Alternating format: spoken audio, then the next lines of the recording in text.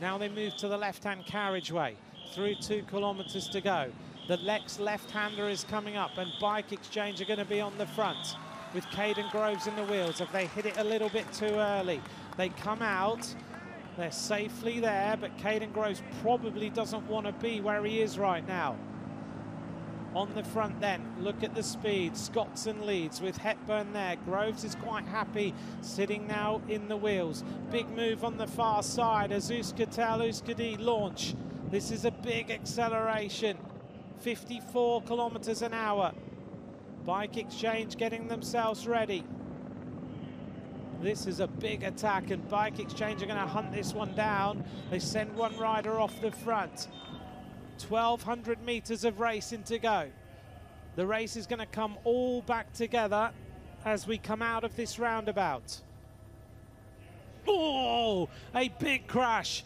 One of the quick step riders hits the deck, and I think that might be Bagioli who's crashed badly. 1,000 metres of racing to go.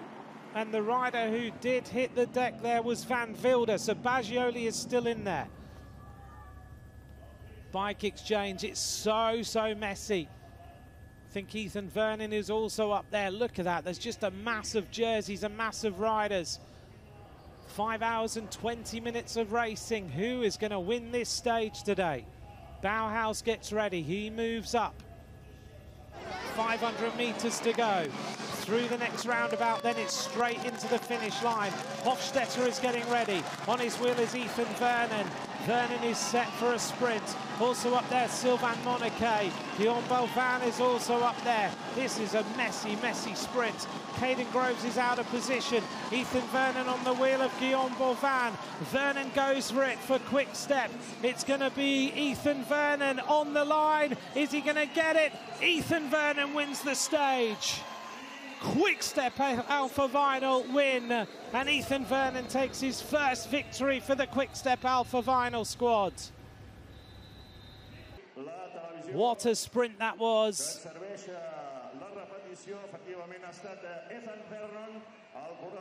Ethan Vernon struck for home very early, but no one was able to get near him. Vernon wins the stage for Quick Step Alpha Vinyl. Guillaume Boivin alongside him. It was a long, long sprint, but the young British rider takes his first ever professional win, beating Phil Bauhaus, and the celebration tells it all.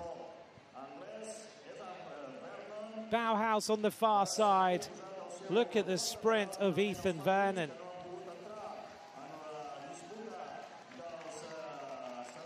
Bauhaus left it late, but he just didn't have the speed. The first professional win and a win in the World Tour.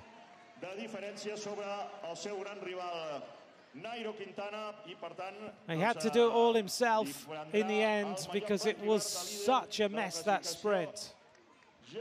Here's the margin of victory. Ethan Vernon wins for Quickstep Alpha Vinyl. Bauhaus is second. Also up there, Kaden Groves, Guillaume Boivin, and Martin Laas. This is Van Wilder, who'll just ride in.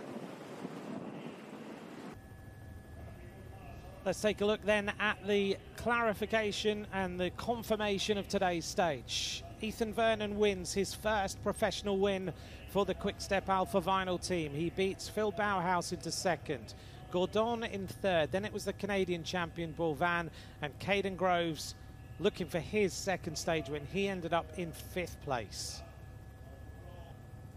Let's take a look then at the classification overall. Well, that intermediate sprint means that João Almeida is now the leader of Volta Catalunya. One second ahead of Nairo Quintana, and he's extended his advantage now on Higuita and his teammate Ayuso there in fourth place. A very clever ride there by UAE Team Emirates to give their rider the green and white jersey as we go into stage six tomorrow.